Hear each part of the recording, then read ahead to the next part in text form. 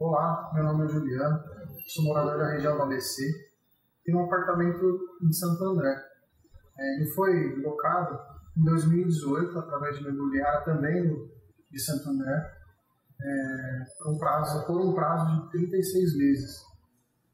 Porém, ele foi quebrado no 13º mês e após essa quebra desse contrato, que foi no início desse ano de 2019, é, até o momento, que fazem aproximadamente 60 dias aí, não houve o repasse do último aluguel e a multa conforme a cláusula de contrato.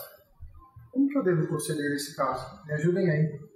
Bom, quem vai responder para a gente é a advogada especialista em direito do consumidor, advogada Fernanda Zucari. O locatário ele precisa fazer uma comunicação para o proprietário ou para a imobiliária que intermediou essa locação e informar que tem interesse em rescindir essa, essa locação. Claro que existem prazos, algumas multas que devem ser verificadas no contrato, mas sempre existe essa possibilidade da rescisão.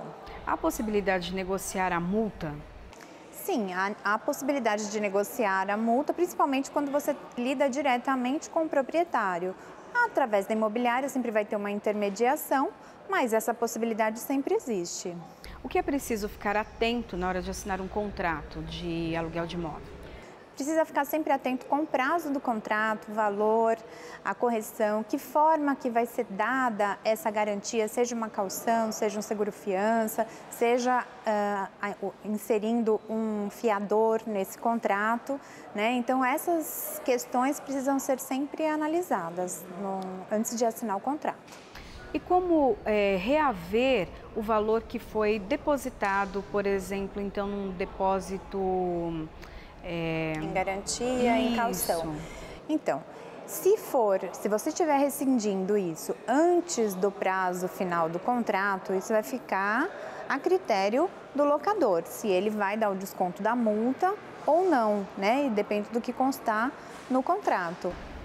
E a imobiliária ela é obrigada a passar, a repassar esse valor do depósito automaticamente assim que uh, o inquilino deixar o imóvel? Sim, porque o papel da imobiliária é só intermediação do negócio, é só encontrar um locatário para aquele imóvel.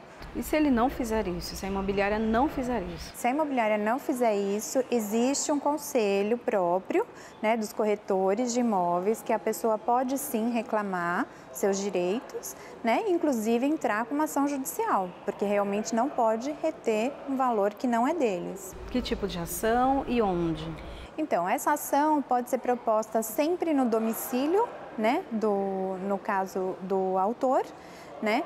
É, e essa ação é uma ação de restituição. Na verdade, ele precisa ser restituído esse valor é, dessa, dessa garantia que, que não foi devolvida pela imobiliária. Tem um órgão específico para esse pedido? Precisa ser sempre um fórum cível, através da justiça comum. Ok, muito obrigada pelas informações. Obrigada. Bom, se você tiver alguma dúvida, manda para a gente. defenda-se.tvalesp.gmail.com